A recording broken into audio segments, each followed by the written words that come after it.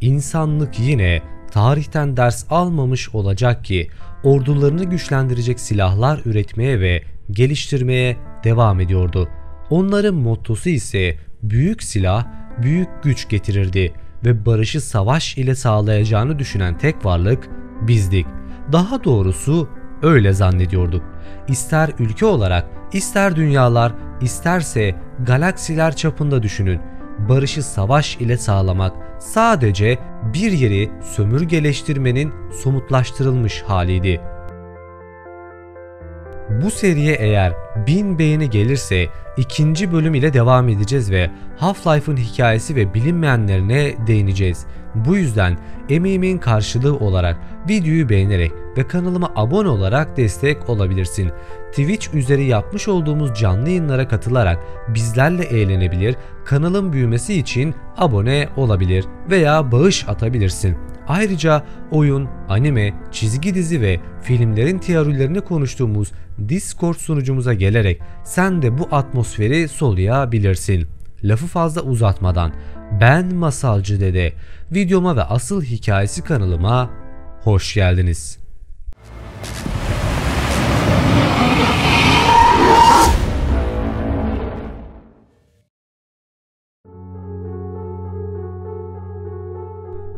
Black Araştırma Tesisi büyük bir kompleks olmakla beraber orta düzey bir şehir büyüklüğündeydi.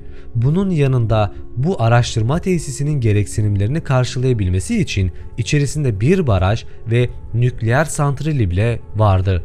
İçerisinde binlerce insan yaşadığı gibi buraya giriş ve çıkışlar yasaktı. Black Mesa tesisi gizli araştırmalar yürüttüğünden kaynaklı içeriye giren çalışan artık orada yaşamak zorundaydı. Bu her kim olursa olsun ister güvenlik görevlisi, ister bilim insanı, ister temizlikçi olun. Yuvanız artık orasıdır. Bu tesisin içinde ailelerin de yaşayabilmesi için devasa odalar ve eğlenme alanları vardı. Black Mesa tesisi sizin de anlayacağınız üzere mini bir şehirdi. Bu tesis sonradan edinilen bilgilere göre 1950'li yıllarda Soğuk Savaş dönemlerinde inşa edilmişti. O zamanlar olası bir durum karşısında yeniden toplanma ve olabilecek nükleer saldırılara karşı korunmak, bunları bertaraf etmek ve hatta gerekirse karşı saldırı yapmak için tasarlanmıştı. Bu yüzden tesis içerisinde fırlatma rampaları, kalın çelikten kapılar bulunmakla beraber yerin metrelerce altına inşa edilmişti. Son derece hassas ve teknolojik cihazlarla donatılan tesis dünyada bile daha kullanılmayan robotlara ev sahipliği yapıyordu. İnsanlardan uzak olması sebebiyle de New Mexico çölüne kurulan bu tesis insanların adını duyduğu ama içerisinde nelerin döndüğünü bilmedikleri bir gizem haline gelmişti.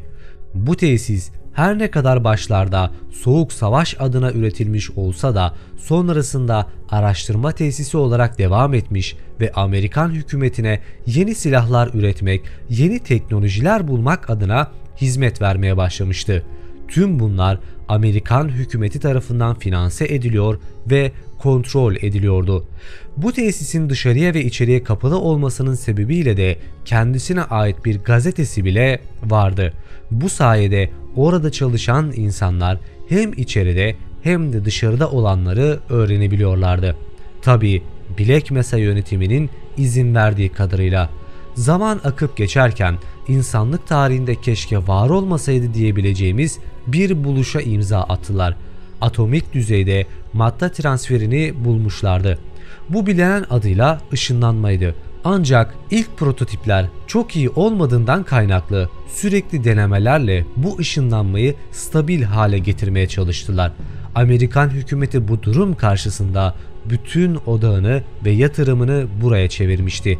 Eğer bu teknolojiye sahip olabilirlerse istedikleri gibi dünyanın herhangi bir yerine gidebileceği gibi belki de uzayın derinliklerine roketler olmadan ulaşabilirdi. Bu sayede hem zamandan hem de kaynaktan tasarruf eder, dünyada bile var olmayan zenginliklere ilk kendisi ulaşabilirdi. Nitekim istedikleri de oldu. Işınlanmanın çalışması için bazı gereksinimler vardı. Bu gereksinimleri sağlayan şey ise antikütle spektrometresi adı verilen devasa bir cihazın çalışması gerekliydi.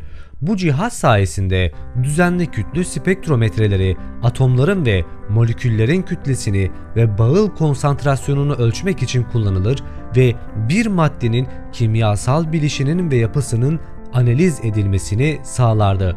Bu cihaz ise en üst yetkilere sahip bilim insanlarından biri olan Profesör Rosenberg tarafından tasarlanmıştı. Çalışma mantığı ise oldukça ilginçti antikütle spektrometresi zen kristallerinin egzotik maddesine enerji vererek salınan elektromanyetik alanlar ve yüksek enerjili plazma ışınları ile bir numuneyi tarayarak çalışırdı. Buna ise çalkalanma adı verilmişti. Zen kristallerinin bu çalkalanması kristal içinde yer değiştirme enerjisi akımlarına neden olur ve bu Lambda laboratuvarları tarafından geliştirilen gelişmiş sensörler kullanılarak analiz edilir, böylelikle yer değiştirme olayları oluşturulurdu. Yani kısacası ışınlanma. Deneylerde kullanılan yüksek enerji seviyelerinden ve radyasyondan dolayı spektrometreyi çalıştırmak için bir HIV suiti giymek gerekliydi. Her test aşamasının prosedürleri belli olmakla beraber izlenecek yol hep aynıydı cihaz %90 seviyesine getirilir ve egzodik maddenin analizi yapılırdı. Çünkü enerjiyi çok fazla vermek egzotik maddede dengesizliklere yol açtığı ve kullanılamaz hale geldiği zaman içerisinde öğrenilmişti. Bu tipik olarak güvenli bir prosedürdü ve her test esnasında izlenecek yol belliydi. Bilmeyenlerin aksine her zaman zen kristalleri veya bilinen adıyla gerekli egzotik maddeden yoktu. Bu yüzden tesis içerisinde devasa bir nükleer reaktör bulunur. Bunun nedeni dünyada bulunan bazı elementleri füzyon işlemlerine tabi tutmaktı.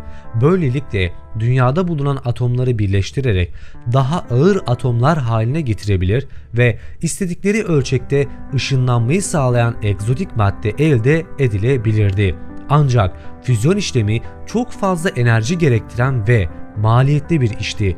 Ancak ve ancak füzyon işlemleri güneşte yapılan bir işlemdi. Bu da dünyada ne kadar zor olduğunu anlamanız için bir örnekti. Bu yüzden insanlık daha az maliyetli bir yol bulmalıydı. Bu araştırmalar sırasında bir yer keşfettiler tuhaf, devasa kristallerden oluşan, kendi içinde bir ekosisteme sahip olan, bitkileri ve canlılara ev sahipliği yapan, aynı zamanda akıllı yaşam formlarını da bulunduran uzayın hiçliğinde bir yer. Zen.